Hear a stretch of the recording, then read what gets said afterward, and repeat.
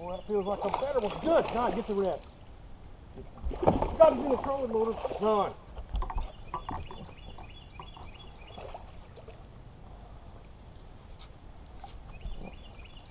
Oh, yeah. Damn. You got your three pounder all right.